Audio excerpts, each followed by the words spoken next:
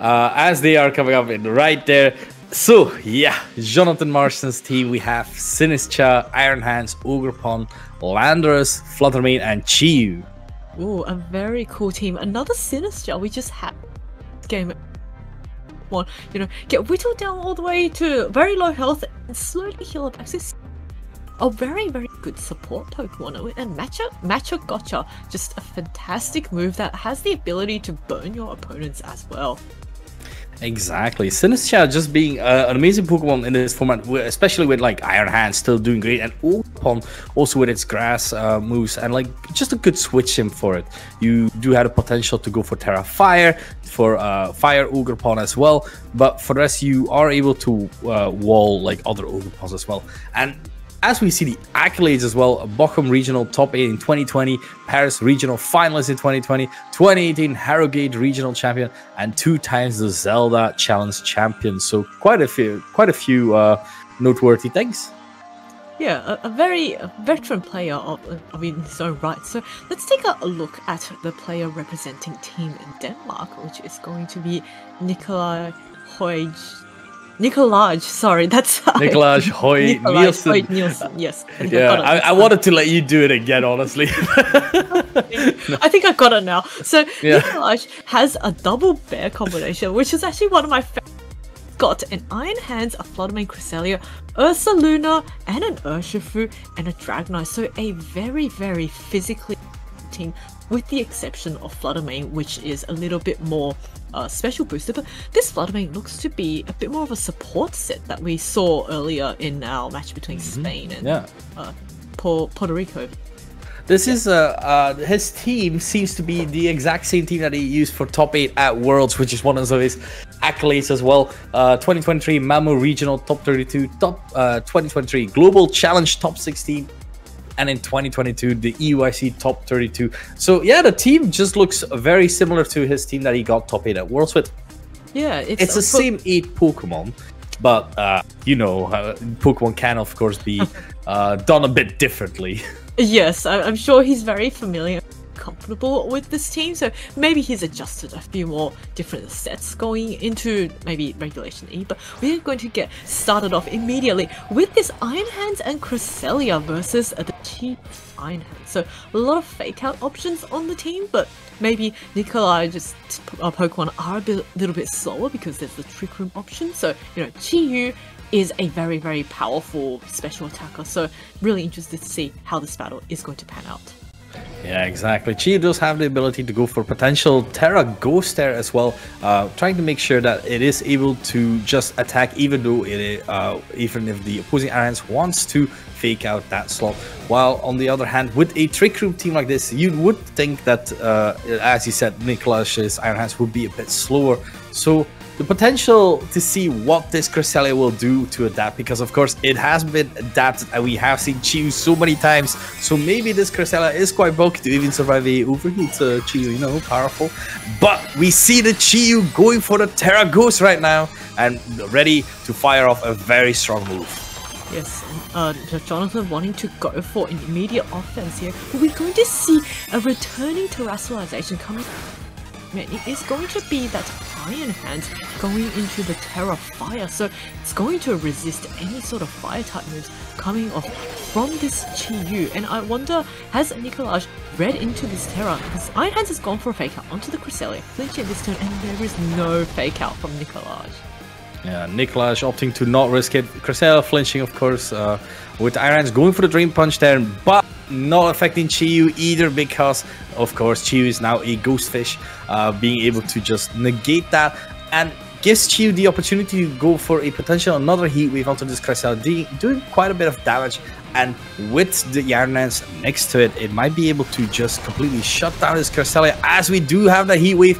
Cresselia just barely hanging on, but we have the Lunar Blessing. Completely forgot about that move. Oh yeah, Lunar Blessing is a new move that Cresselia gained in this generation. It's being a really, really good support move, and we can see how critical that was because Cresselia is now able to uh, regain her health and survive that wild charge. Of course, Iron Hands on Jonathan's side is going to take a little bit of is going to take the, the Drain Punch and allowing Nikolaj's Iron Hands to actually heal all the way back up to full health. But of course, this Cresselia is now very heavily damaged and being slower than Chi-Yu, it might not be able to get off an attack before he gets knocked out.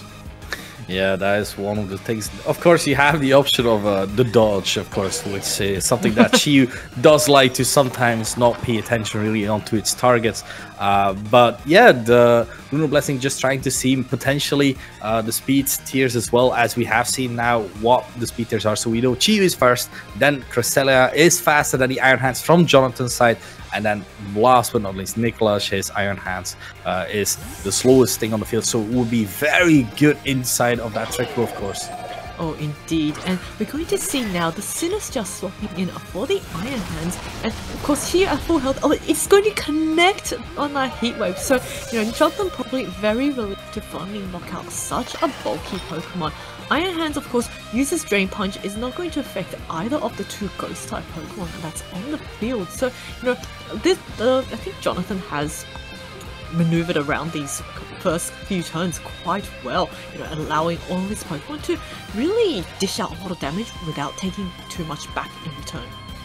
Yeah, exactly. And you were able to get rid of the main trick room instead of being that Cresselia. You do have a potential uh, Flutter Mane if you want to really put Trick Room on that. But we have seen it wasn't, it was a Icy Wind variant with the booster energy as well. So now Nikolaj really has to think what to do in this situation because the Sinistcha is just able to redirect any sort of moves from any non-grass types uh, and the answer seemingly being that Mane as we as I just mentioned with the booster energy raising its speed.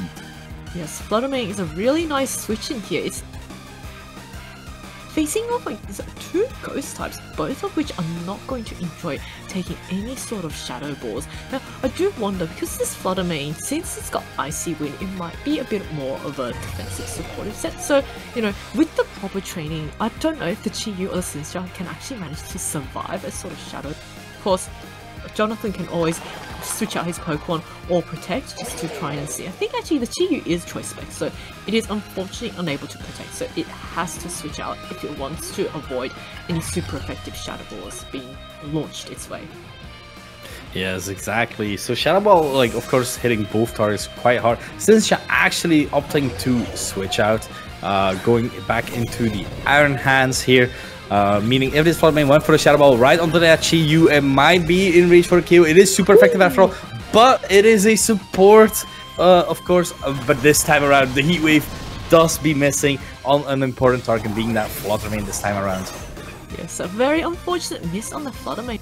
Wise have actually taken quite a lot of damage from this Chi-Yu, but of course that does mean that because the Iron Hands was not targeted on Jonathan's side, it does manage to come in for very, relatively little damage taken. And I think, you know, I think we saw a glimpse of Jonathan switching out his chi, just not wanting his Iron Hands to take any more damage than needed from the Flutter Mane's Fairy type attacks. Because of course, this Iron Hands now no longer have the option to go for a Tera to dodge those super effective Fairy moves.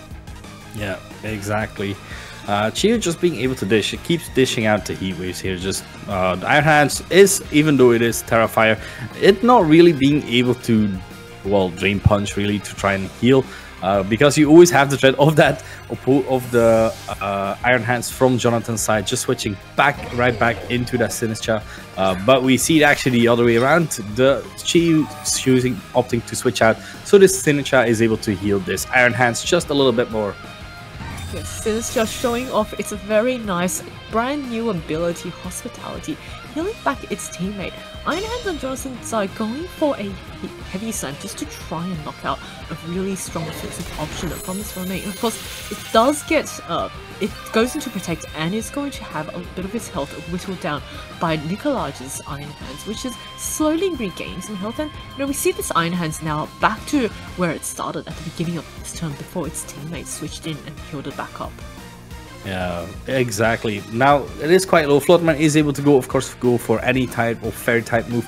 Uh, if you do have a dazzling because Sinistcha is of course being able to redirect that. So do you just focus on the Sinistcha slot there, just going for the Shadow Ball, potentially even uh, perhaps making a KO on that, or on the other hand, maybe this Iron Hands is more threat because it is threatening an immediate KO onto this Flutter Mane with a heavy slam.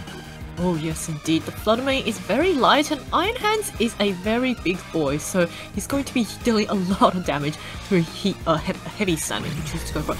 So Flutter Mane chooses to stay in and play Shadow the Sinistcha, which survives the hit with quite a lot of health. Sinistcha oh. actually going to regain or a lot of his health back from this Iron Hands because Iron Hands has very, very high base attack. So actually, this wow, going back up, and poor Mane is going to get knocked out without being able to do any damage to yeah. uh, any damage that's stuck to Jonathan's side. Yeah, exactly. Heavy Slam not doing that much damage to Sinistcha. Even the Rocky Helmet on top of it, making sure this Iron Hands has not been useful at all. Jonathan really, uh, like, surgically uh, moving around his Pokemon at the right time and just keeping Nikolaj's Pokemon low. Uh, but now there's an Ur Dark Urshifu, the single strike Urshifu, which is able to deal a bit of damage. But on the other hand, the problem is Jonathan still has his Iron Hands out front.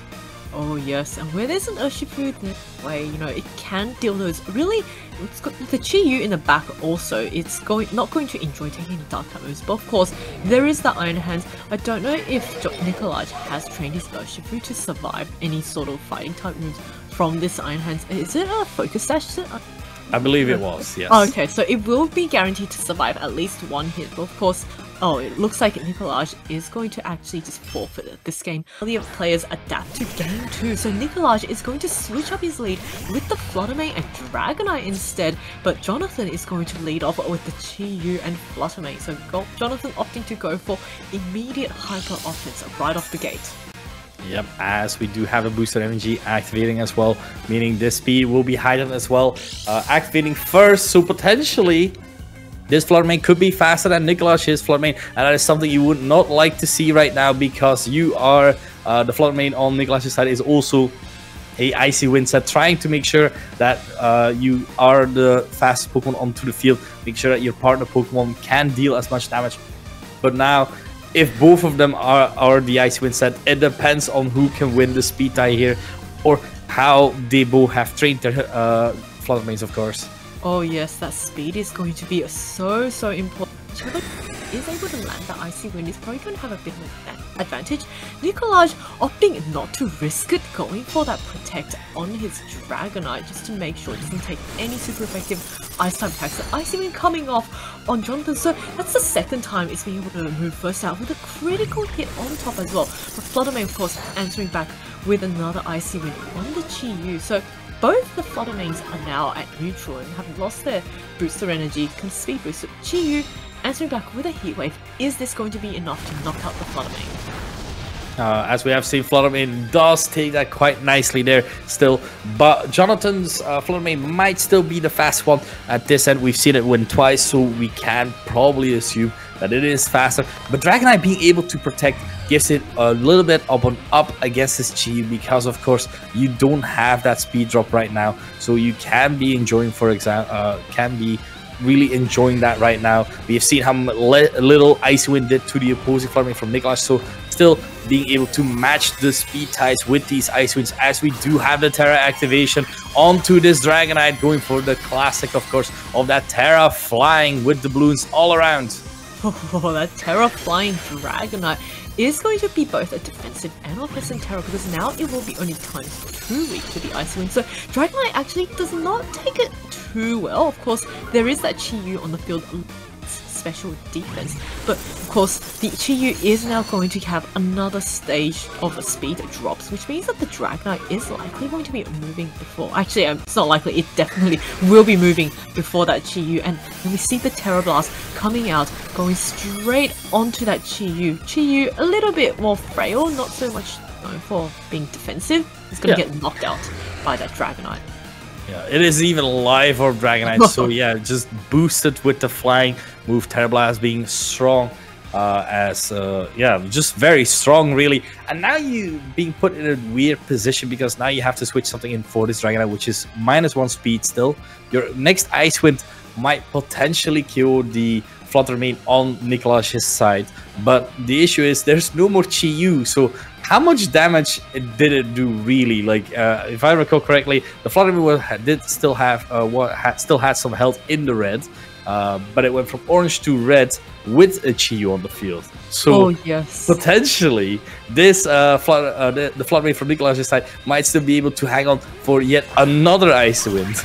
Oh, indeed it might. And also, Nick, Jonathan has to actually hit his icy wind. There's one other thing I'm curious about is that Jonathan's Flutter Mane, or oh, both Flutter Manes, are now at minus two speed. So I wonder if Nikolaj has trained his Dragonite to be faster than a Flutter Mane that's, you know, well, technically, because of the boost energy, the Flutter Mane is at minus one speed. Yeah. So is this Dragonite going to be faster than the Flutter Mane? Is that the fastest thing on the field now? And much damage can because Ogerpon is not going to enjoy taking a life orb Tera Blast flying from this very right. Yeah, exactly. So uh, quite a difficult position to be put in. Uh, at this point, I feel like both players do not want their Flood Main really on the field after they've uh, done their service, after they have controlled the speeds with the Ice Wind here. But we do have the Tera activation this time from Ogerpon, going for that uh, Wellspring Mask, going into that full Tera Water getting also the new ability embody aspect raising its special defense making sure that it is able to hit quite hard and take hits as well. Dragonite going for the protect here meaning the Fluttermane is out on its own on Nikolaj's side. Ivy Cudgel going out onto the protected Dragonite meaning the uh, Fluttermane from Jonathan's side might be going for an attack. It is going for that Moonblast just making sure that Nikolaj his Fluttermane does manage to go down Oh yes, Jonathan probably not wanting to risk the icy wind missing or you know not being able to pick up the KO, and knowing that his Fluttermane is the faster one, just choosing to try and get rid of the opposing Fluttermane so that it cannot go for any more icy winds, and that kind of makes me wonder that that Fluttermane might be very very fast and might actually outspeed the Dragonite at minus one. But of course, here comes this Dark Urshifu, which deals super deals really, really big damage, and it is Focus Sash, so it will survive any one attack that is thrown at it. Yep, exactly. And with that Fluttermane now at, well, minus one, I believe, with the boosted energy, yep. uh, the Urshifu might as well be the fastest thing onto the field. A Wicked Blow will still hurt this Fluttermane. Uh, the Dragonite, of course, not really wanting to take any Ivy Cudgels right now, being just the flying typing, no longer being a Dragonite to resist it but still being able to do a bit of damage right before it goes out with an extreme speed there as the Ivy Cudgel is coming out. It, so we know the Ogerpon is even faster than the Urshifu going into the Dragonite and Dragonite will go down. Oh yes, Dragonite has gone down, uh, but it has done quite a bit of work, you know, knocking out the Chi-Yu, which was a choice specs variant so heavy hitting. And here comes the Urshifu. Close combat into the Ogerpon. So deciding to ignore the Fluttermane for now, knowing that with a Focus Sash, it can survive just one attack and maybe just wanting to deal with this minus two Fluttermane later because now Jonathan is down to his final two Pokemon. So this Fluttermane is stuck at minus one speed. Yep, exactly. Moonblast coming out on Urshifu hang on its focus sash, just as you said. Going for the Fluttermane might indicate that uh, Nikolaj might have a good answer in the back for that Fluttermane uh, still there, as we do see on Jonathan's side, the last Pokemon being the Sinistcha, two Ghost types, uh, not really both keen to take any moves from this Iron Hands and uh, from this Urshifu, as Iron Hands is the last Pokemon. Yes, you can deal with the Fluttermane, but yes, can you deal called with it. the Sinistcha. yes, the Urshifu is faster. Isn't going to be in a position to H powder because by the Urshifu, which is actually the fastest Pokemon on the field, and Iron Hands within the Salt Vest, even a critical hit of this Fluttermane is not going to be able to knock it out because this is a more of a supportive Fluttermane. So yeah. um, I think it's safe to say that I think the Urshifu should be able to deal with the Sinistcha and then the Iron Hands it should be able to deal with the Fluttermane at minus. Well, yeah, the, the Urshifu will go before the Fluttermane, knock out the yeah. Sinistcha, and then the Iron Hands can deal with the Fluttermane in. No, exactly. I'm trying to think uh, how Jonathan can uh, wiggle Ooh. out. But he survives! what? what? Okay, I didn't see that coming. oh, he gets Strength Sap. Oh, oh, he gets oh. Strength Sap back to full. last coming out from Fluttermane into the Iron Hands. Iron Hands has to deal with this Fluttermane now on its own. Uh, so yeah, the straight oh. sap coming out, so at minus one right now. Oh, okay. That is and with amazing. hospitality, so at minus one, uh, the heavy slam will still kill this Floodmate. There's no way. Oh, it's Oh, wait, it went into into the signature. It went into the signature slot in case it was at low HP, Oh, uh, probably, and the Rocky Helmet. So now this Floodmate and this signature just proving to be too much for Nikolaj and Jonathan. Very well Oh, played wow. there.